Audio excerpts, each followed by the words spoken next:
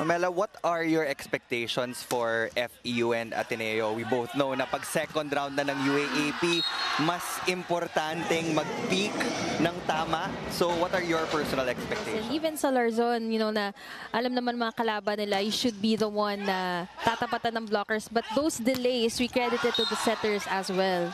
Speaking of delays, kuwang-kuwa ni Kakao yung middle blocker ng Ateneo. Big performance against De La Salle. There were three players in double digits. Especially against UP, 61 e- excellent uh, receptions and 44 digs. So uh, kaya naman yung mga puntos nito nila sa Larzon at nila Batas malalaki but uh, yung magiging crucial dito dahil we talked about where the points are coming from from FEU. Ang daming pinanggagalingan. Meanwhile, for uh, Ateneo, it's uh, heavily reliant on uh, Batas and sa Larzon. So, tignan natin if the likes of Gopio will also pull off numbers. A three-point lead here and a full front lineup. But as this time with a drop ball, These uh, drop shots from Batas, but he knows it was a it was a basic play. The the blockers were established. Gian Salarzon is still the target of the servers. This time it's Pasino from the backcourt.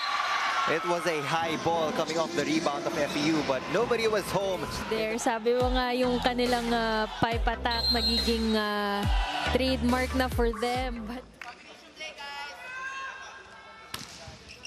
So walang setter at this point. I believe this would be a blocking substitution. Since wala ng setter, sino yung ma-assign to take that second ball? well, good thing De Castro is on the floor and uh, ooh, but uh, that time Saavedra not allowing. Their opposite hitter, I believe.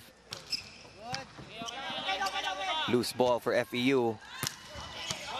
Easy pickings for De Castro. Licaco will set it up for Pasino. And he gets it to go. So kailangan din niyang suportahan si Gian in uh, that aspect. Excellent pass from Celajes. Nadera will try again, but De Castro will pop it up. Pasino again. This time gets blocked by the defense of FEU. But this time, it has done a lot of contributions for their team, especially against Pasino. I believe uh, two block points were against him, and that was the way they ended set number one. And uh, very uncharacteristic of them to have, uh, you know, those miscommunications. And just look at that. Talking about body language, no he has been using their serves as an offensive weapon. It's been working well for them, especially here in the second set. So that point will officially go to FEU. Ulabnan will choose Salarzon. Celajes will pop it up for Javelona on left side. And Ateneo will get a kill block. That will be their first kill block. to see the energy of the Ateneo Blue Eagles. Just really more eager here in this set. Look at that. Really uh, blocking and guarding. bilis nung wrist action uh, in transition for Delicana. Salarzon from the back row. That is uh, inside. No libero on the floor. Get to that uh, pipe hit of Salarzon. Look at that. Angling it well. Targeting the sideline. Ian Salarzon as expected. An all-around game for him. Meron na siyang block. Meron na siyang ace. Napakarami niya ng atake. Six points already for this guy. So makikita mo talaga yung uh, battle of the middles din. Because good for Ateneo to uh, match the outings of Bugawan. And now he has actually um, uh, over uh, overtake. By engaging uh, Jet Gopio in that last rally. Ateneo now has a five-point lead. Oh, there will be a net violation called on uh, Gian Salarzon. They're closer to the 25-point mark, but they have to get one stop. Pasino will go for that drop shot. The leadership of uh, Lance De Castro. Someone could even make a compilation. There is a new player on the floor for FEU. It's Jellard Talisayan. Another. So they will try to score more here in the, here in the tail end of set number two. Kakao will go to a combination play. And this time, sila naman yung uh, magdi-dish out ng... When they're up there. Another drop shot. And it's been working well for the Ateneo. And you know that uh, the players, they're really thinking players. Hindi lang palo ng palo. They find the openings on the defense. And uh, that gives them a set win against FEU. Natin yung malalakis pumalo. Because now, mas advantage na na may magaling kang setter. And in our case right now, we're watching two very talented setters in Mga Labnan and Kakao. So, the technical side of it, maganda yung ginagalaw ng Ateneo in uh, passing and uh, offense. Pero yung body language din, To uh, FEU. kailangan-kailangan talaga mag-effort sila sa kanilang serving and blocking. Kasi naman, offensive weapons nyo, but Pasinio just powering through with that uh, last hit. That is still a good sign for FEU, I would say. They were able to set up that three-man block. Ibig sabihin, nababasa nila Oo. kung saan pupunta yung... Uh, Kudos to the coaches for knowing when to challenge. Combination play doesn't work for FEU. Out of system there. Salarzon will pop it up for Pasino. FEU will have another chance to attack. Javelona goes off the block. And uh, Lance De Castro couldn't get to it. Try to you know, pull off a momentum against Ateneo. Another loose ball for FEU. Javelona will put a stop and it opened the doors for Gian Salarzon. Ooh, another ace for the Blue Eagles. Drop ball doesn't work. Benny Martinez will go to Saavedra.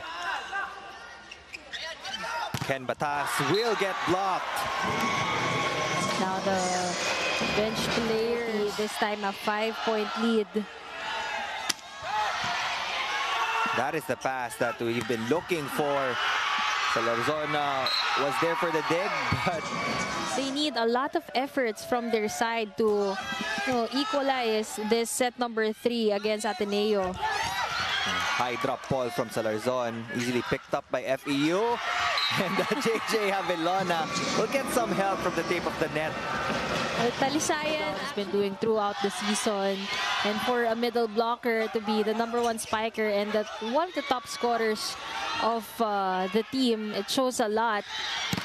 But uh, right now, ganda ng galawan nitong Ateneo. Look at the body language. But uh, no, I think the key also for Ateneo is the reception. 31 excellent receptions already for Ateneo, 20 for FEU, and that is why when it comes to offense, Talisay hindi nakadepensa sa likod dahil may tumama din sa blockers eh. So sometimes it's harder for the floor defenders dahil yung bola nawawala dun sa posisyon where it's anticipated to go because of those block touches. Speaking about uh, block touches, that was a judgment call of FEU. Jan Mangulabnan already has 15 excellent sets in this ball game. Same play for Benny Martinez and Saavedra. Ateneo will keep that ball alive but will be forced to give a free one to the Tamaraws. They go for that double quick play.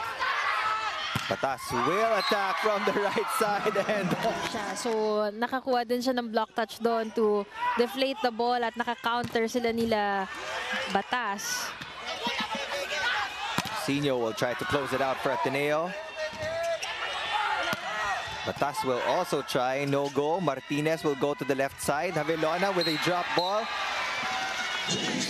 You know, those outputs, same as uh, the veterans, but uh, this time, yung tip shots working well for, eh, for FEU also, na ginagawa yan sa kanila all afternoon. The second round because wala na tayong do-overs right now. Talagang one win or one loss will dictate your future. to really bring out those offensive weapons, yung mga plays na kinatago-tago pa nila dahil Ateneo's really done a good job reading them and on point Salarzon scoring off a solid single block.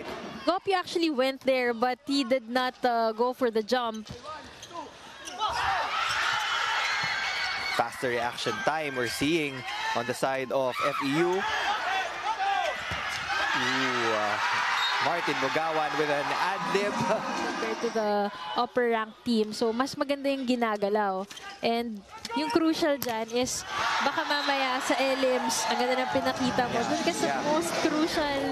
Right now, the current uh, uh, top four is NU, FEU, LaSalle, and UST in that order.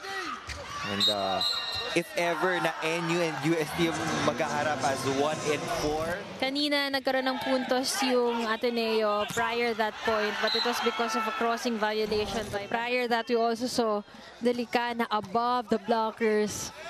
What a talent and athleticism by uh, better performance for Lyric Mendoza. They need all the support that they can get also on the side of FEU to ease off the pressure of the shoulders of Drick Saavedra. Pero every time they commit that service error, mas tumataas yung kumpiyansa ng uh, FEU Tamaraws.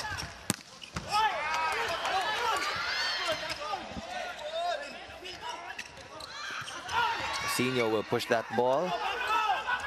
Ooh, confusion on the side of Ateneo. Kakao will set up Bugawan uh, in the middle.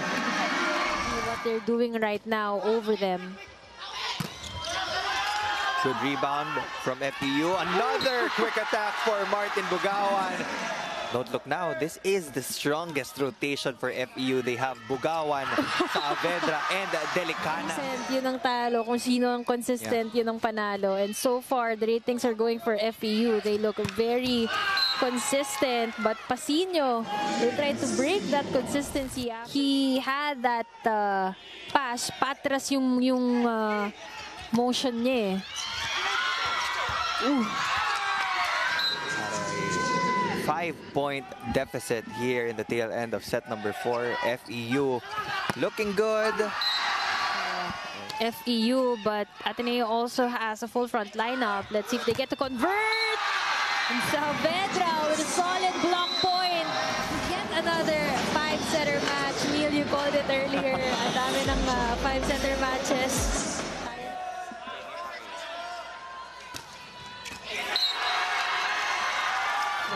Juice and the lack of first action in that last attempt. You can hear the voice of concern uh, dito kay Coach Timmy Santo Tomas because the three points of FEU have come off the unforced errors of Ateneo.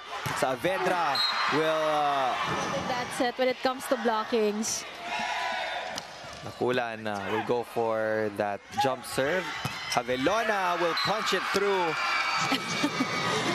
And Javelona in the final four. Gopio will score a quick one.